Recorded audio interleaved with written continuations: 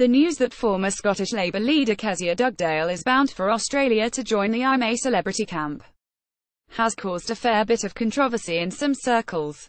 But one person that doesn't appear too fazed by the news is Labour leader Jeremy Corbyn, who's given his support to Kezia as he spoke out on the ensuing row. Despite new Scottish Labour leader Richard Leonard suggesting she should be suspended for her stint in the jungle, Corbyn has said, it's her choice to go on I'm a celebrity, get me out of here.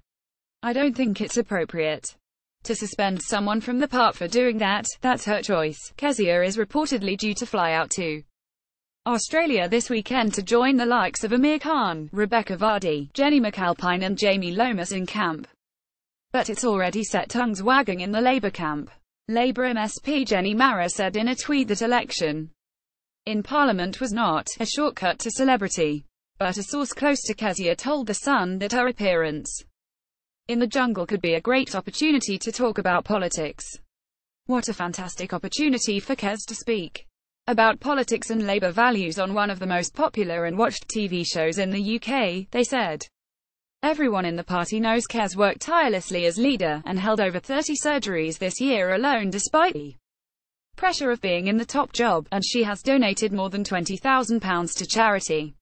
She'll be back in time for the budget and will get straight down to work once again for the people of the Lothians. I'm a Celebrity kicks off on ITV on Sunday night at 9 pm.